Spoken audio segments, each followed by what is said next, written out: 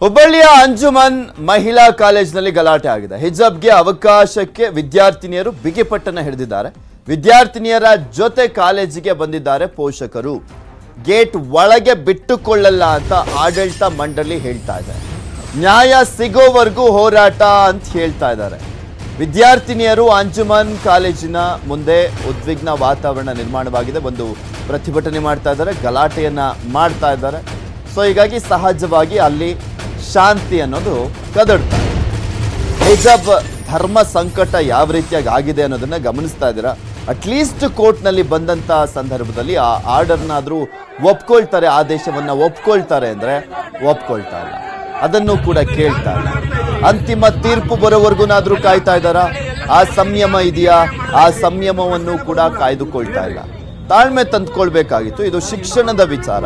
ಬೇರೆ ಎಲ್ಲೋ ಯಾವುದೋ ರೀತಿಯಲ್ಲಿ ಗಲಾಟೆ ಆಗಿದ್ರೆ ಆ ಒಂದು ವಿಚಾರಕ್ಕೆ ಸಂಬಂಧಪಟ್ಟಂತೆ ಯಾವುದಾದ್ರೂ ರೀತಿಯಲ್ಲಿ ಕ್ರಮವನ್ನು ಕೈಗೊಳ್ಬೋದಿತ್ತು. ಆದರೆ ಇದು ಶಿಕ್ಷಣದ ವಿಚಾರ.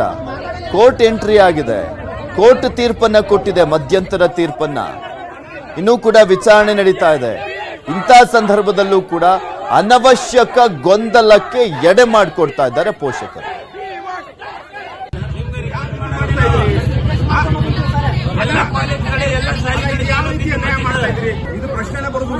ಹೇಳ್ರಿ ಸರ್, ಇವ್ರು ಮಾಡಿದ್ದಕ್ಕೆಲ್ಲ ಎಲ್ಲ ಕಾಲೇಜ್ ಶಾಲೆಗಳಿಗೆ ಎಲ್ಲ ಕಾಲೇಜ್ಗೆ ಏನಾಗ್ತಿದೆ ಈಗ ಅವರು ನಮ್ಮ ಎಲ್ಲ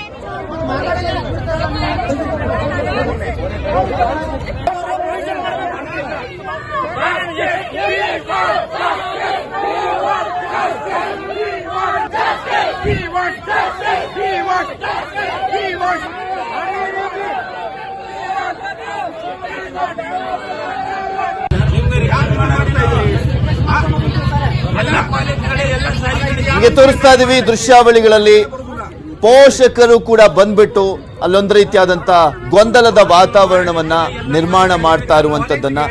ಇವರು ಯಾರ ವಿರುದ್ಧ ಪ್ರತಿಭಟನೆ ಮಾಡ್ತಾ ಇದ್ದಾರೆ ಗೊತ್ತಾಗ್ತಿಲ್ಲ. ಯಾರ ವಿರುದ್ಧ ಪ್ರತಿಭಟನೆ ಇದು? ಶಾಲಾ ಕಾಲೇಜಿನ ವಿರುದ್ಧನ? ಪಾಪ ಏನ್ ಮಾಡ್ತಾರೆ ಶಾಲಾ ಕಾಲೇಜಿನವರು?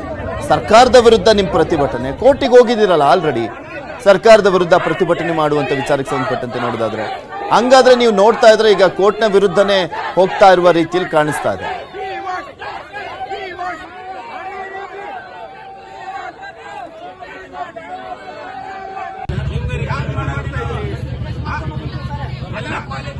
ಈ ರೀತಿಯಾದಂತ ಸ್ಥಿತಿ ನಿರ್ಮಾಣ ಆಗಬಾರ್ದು ಅನ್ನುವಂತ ಕಾರಣಕ್ಕೋಸ್ಕರ ಒಂದು ವಾರಗಳ ಕಾಲ ಸರ್ಕಾರ ಕಾಲೇಜನ್ನ ಓಪನ್ ಮಾಡ್ದಲೆ ಮೀನಾಮೇಷ ಎಣಿಸ್ತಾ ಇತ್ತು. ಆಲ್ಮೋಸ್ಟ್ ಒಂದು ನೈಂಟಿ ಪರ್ಸೆಂಟ್ ಅಷ್ಟು ವಿದ್ಯಾರ್ಥಿಗಳು ಶಿಕ್ಷಣ ಬೇಕೇ ಬೇಕು ಅನ್ನುವಂಥ ವಿದ್ಯಾರ್ಥಿಗಳು. ಅವ್ರಿಗೆ ಮಾತ್ರ ಹೇಳ್ತಾ ಇದ್ದೀನಿ.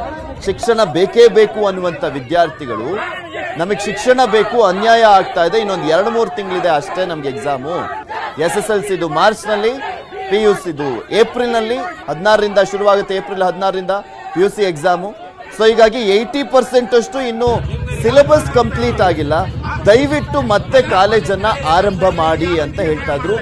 ಶಿಕ್ಷಣದ ಬಗ್ಗೆ ಆಸಕ್ತಿ ಇರುವಂತಹ ವಿದ್ಯಾರ್ಥಿಗಳು, ಶಿಕ್ಷಣ ಬೇಕೇ ಬೇಕು ಅನ್ನುವಂಥ ವಿದ್ಯಾರ್ಥಿಗಳು ಈ ರೀತಿಯಾಗಿ ಸರ್ಕಾರವನ್ನ ಮನವಿ ಮಾಡ್ಕೊಳ್ತಾ ಇದ್ರು. ಆ ಪ್ರಾಂಶುಪಾಲರ ಜೊತೆ, ಶಾಲಾ ಕಾಲೇಜಿನ ಜೊತೆ ಮನವಿ ಮಾಡ್ಕೊಳ್ತಾ ಇದ್ರು.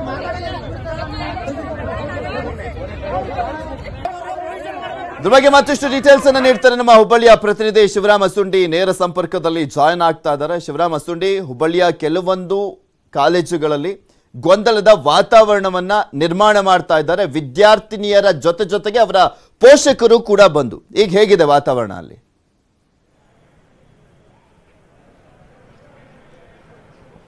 ಪೃಥ್ವಿರಾಜ್, ಸದ್ಯದ ಪರಿಸ್ಥಿತಿ ಒಂದು ರೀತಿಯಲ್ಲಿ ಬಿಗುವಿನ ವಾತಾವರಣ ನಿರ್ಮಾಣ ನಿರ್ಮಾಣ ಆಗಿದೆ ಅಂತಲೇ ಹೇಳ್ಬೋದು. ಯಾಕಂದರೆ ಏನು ಬೆಳಿಗ್ಗೆಯಿಂದಲೂ ಸಹ ಇಲ್ಲಿ ಏನಾದರೂ ನಮಗೆ ಅವಕಾಶ ಮಾಡಿಕೊಡ್ಬೇಕಂತೇಳಿ ಪ್ರತಿಭಟನೆ ಮಾಡ್ತಾ ಇದ್ರು ಮತ್ತು ಅದಕ್ಕೆ ಪೋಷಕರು ಸಹ ಸಾಥ್ ನೀಡಿದ್ರು. ಈಗ ನೋಡ್ತಾ ಇರ್ಬೋದು ನಾವೀಗ ಏನು ಪದವಿ ಮಹಾವಿದ್ಯಾಲಯದ ಆವರಣದ ಎದುರಿಗೆ ಇದ್ದೀವಿ. ಇಲ್ಲಿ ಕಮಿಷನರ್, ಪೊಲೀಸ್ ಕಮಿಷನರ್ ಸಹ ಈಗ ಕಾಲೇಜಿಗೆ ಭೇಟಿ ಕೊಟ್ಟಿದ್ದಾರೆ. ನೋಡ್ತಾ ಇರ್ಬೋದು ಲಾಭುರಾಮ್ ಅವರು ಸಹ ಭೇಟಿ ಕೊಟ್ಟು ಪರಿಶೀಲನೆ ಮಾಡ್ತಾ ಇದ್ದಾರೆ. ಇವ ಒಟ್ಟಾರೆ ಏನಂದ್ರೆ ಪರಿಸ್ಥಿತಿ ಅತ್ಯಂತ ಇದಾಗಿರೋದ್ರಿಂದಾಗಿ ಒಂದು ನಿಮಿಷ ಕಮಿಷನರ್ ಅವರೇ ಮಾತಾಡ್ತಾ ಇದ್ರೆ ಸರ್ ಏನು ಸರ್ ಈಗ ಘಟನೆ ಬಗ್ಗೆ ಇಲ್ಲ ಈಗ ಈ ಸ್ಕೂಲ್ ಸಂಬಂಧಪಟ್ಟ ಯೂನಿಫಾರ್ಮ್ ಸಂಬಂಧಪಟ್ಟಾಗಿ ಅವ್ರಿಗೆ ಕೆಲವು ಜನ ಇಲ್ಲಿ ಪಬ್ಲಿಕ್ ಸೇರಿದ್ರು. ಸೇರಿ ಅವರು ಕಾಲೇಜ್ ಅಡ್ಮಿಷನ್ಸ್ ಜೊತೆಗೆ ಡಿಸ್ಕಸ್ ಮಾಡ್ತಾ ಇದ್ರು. ಜನ ಸೇರಿ ಜಾಸ್ತಿ ಇರುವಾಗ ಇವತ್ತು ಒನ್ ಫಾರ್ಟಿ ಫೋರ್ ಜಾರಿ ಇರುವಾಗ ನಾವೆಲ್ಲ ಅವ್ರಿಗೆ ಡಿಸ್ಪರ್ಸ್ ಮಾಡೋಕೆ ಮನೆಗೆ ಹೋಗ್ಲಿಕ್ಕೆ ಹೇಳಿದ್ದೀನಿ. ಅವ್ರಿಗೆ ಏನು ಆ ಥರ ಡಿಸ್ಕಷನ್ ಮಾಡಿದ್ರೆ ಅವರು ಈ teachers pre college management authority ಇರ್ತಾರೆ, ಅವ್ರ ಜೊತೆ ಅವ್ರು ಡಿಸ್ಕಸ್ ಮಾಡ್ಬೋದು. ಅದರ್ವೈಸ್ ಇಲ್ಲಿ ಬಂದು ಜನ ಸೇರೋದು ಕ್ರೌಡ್ ಮೇ, ಇಕ್ಕಟ್ಟಾಗಿ ಮತ್ತು ನ್ಯೂಸೆನ್ಸ್ ಕ್ರಿಯೇಟ್ ಆಗೋದು ಅವಕಾಶ ಆಗಬಾರ್ದು. ಅದಕ್ಕೋಸ್ಕರ ನಾವು ಒನ್ ಫಾರ್ಟಿ ಫೋರ್ ಆಗಲೇ ಜಾರಿಲಿದ್ದಾವೆ. ಮತ್ತು ನಾವು ಅವ್ರಿಗೆಲ್ಲರಿಗೆ ಹೇಳಿದೆವು ಲೀಡರ್ಸ್ಗೆ ಮತ್ತು ಯಾರು ಬಂದು ಅವ್ರಿಗೆ ಇಮಿಡಿಯೇಟ್ ಡಿಸ್ಪರ್ಸ್ ಆಗಿ ಹೇಳಿದ್ವಿ. ಅವ್ರಿಗೆ ಸರಿಯಾಗಿ ಪೊಲೀಸ್ ಬಂದೋಬಸ್ತು ಅದರಲ್ಲೆಲ್ಲ ಡಿಸ್ಪರ್ಸ್ ಕೂಡ ಆಗಿದ್ದಾವೆ. ಮುಂದಿನ ಅವ್ರದ್ದು ಇದರ ಬಗ್ಗೆ ಸಂಬಂಧಪಟ್ಟ ತೀರ್ಮಾನ ಇದೆ. ಅವ್ರ ಎಜುಕೇಷನ್ ಡಿಪಾರ್ಟ್ಮೆಂಟ್ ಆಗಲಿ, ಆ ಕಾಲೇಜ್ ಅಥಾರಿಟಿ ಅವ್ರು ತೊಗೊಂಡು.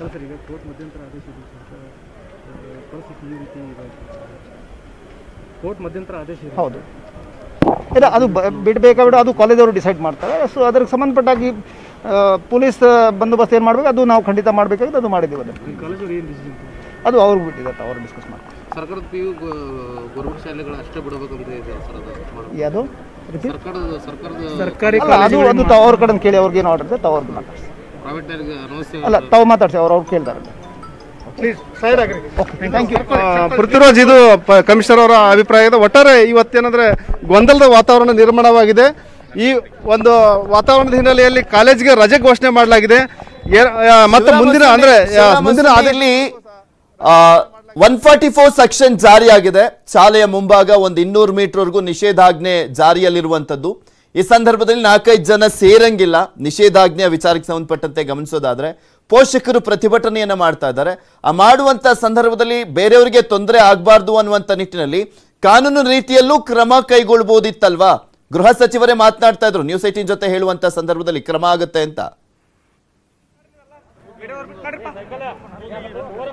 ಖಂಡಿತ ಪೃಥ್ವಿರಾಜ್ ಒಂದೇನಂದ್ರೆ ಹುಬ್ಬಳ್ಳಿನಲ್ಲಿ ಈ ರೀತಿಯ ಒಂದು ಘಟನೆ ನಡೆದಿದ್ದಿಲ್ಲ ಹೀಗಾಗಿ ಒಂದು ಪೊಲೀಸರು ಸಹ ಅಲ್ಲಿ ಏನು ಪ್ರತಿ ಕಾಲೇಜಿಗೂ ಸಹ ಬಂದೋಬಸ್ತ್ ಕೈಗೊಳ್ಳಲಾಗಿತ್ತು. ಆದರೆ ಏನು ಈಗ ಏನು ಇದು ವುಮೆನ್ಸ್ ಕಾಲೇಜ್ ಇರೋದ್ರಿಂದ ಏಕಾಏಕಿ ವಿದ್ಯಾರ್ಥಿನಿಯರ ಸಂಖ್ಯೆ ಅಂದರೆ ಇದು ಏನು ಹಿಜಾಬ್ ಹಾಕೊಂಡು ಬಂದವರ ಸಂಖ್ಯೆ ಹೆಚ್ಚಾಗಿದ್ದರಿಂದಾಗಿ ಮತ್ತು ಪೋಷಕರು ಸಹ ಬಂದಿದ್ದರಾಗಿ ಈ ರೀತಿಯ ಗೊಂದಲ ಸೃಷ್ಟಿಯಾಗಿದೆ. ಒಟ್ಟಾರೆ ಏನಂದ್ರೆ ಇವತ್ತು ಏನು ಕಾಲೇಜ್ ಆಡಳಿತ ಮಂಡಳಿ ಸಹ ಒಂದಿಷ್ಟು ಮುನ್ನೆಚ್ಚರಿಕೆ ಕ್ರಮ ತಗೊಳ್ಬೋದಾಗಿತ್ತು ಮತ್ತು ಈಗ ಏನು ಗಲಾಟೆ ಆದ ನಂತರ ಅವರು ಏನು ಇಲಾಖೆ ಅವ್ರ ಇಲಾಖೆಗೆ ಮಾತಾಡಿ ಸ್ಪಷ್ಟೀಕರಣ ಕೇಳ್ತಾ ಇದ್ದಾರೆ. ಹೀಗಾಗಿ ಒಟ್ಟಾರೆ ಏನು ಇವತ್ತು ಗೊಂದಲ ಸೃಷ್ಟಿಯಾಗಿದೆ. ಇದರಿಂದ ಹಿನ್ನೆಲೆಯಲ್ಲಿ ಮತ್ತು ಈಗ ಸದ್ಯಕ್ಕೆ ಶಾಲೆಗೆ ಕಾಲೇಜಿಗೆ ರಜೆ ಘೋಷಣೆ ಮಾಡಲಾಗಿದೆ. ಮುಂದಿನ ಎಲ್ಲರೂ ಪೋಷಕರೇ ಅಲ್ವಾ? ನಿರ್ದೇಶನ ಕೊಡ್ತಾ ಅದ್ರ ಪ್ರಕಾರ ನಾವು ಪಾಲನೆ ಮಾಡ್ತೇವೆ ಅಂತ ಹೇಳ್ತಾ ಇದ್ದಾರೆ. Okay thank you Shivarama Sundi ನಿಮ್ಮೆಲ್ಲ ಡೀಟೇಲ್ಸ್ಗಾಗಿ ಮತ್ತಷ್ಟು ಅಪ್ಡೇಟ್ಸ್ಗಳನ್ನು ನಿಮ್ಮ ಮುಂದೆ ಇಡ್ತಾ ಹೋಗ್ತೀನಿ. ಆದರೆ ಅದಕ್ಕೂ ಮುಂಚೆ ಒಂದು ಸ್ಮಾಲ್ ಬ್ರೇಕ್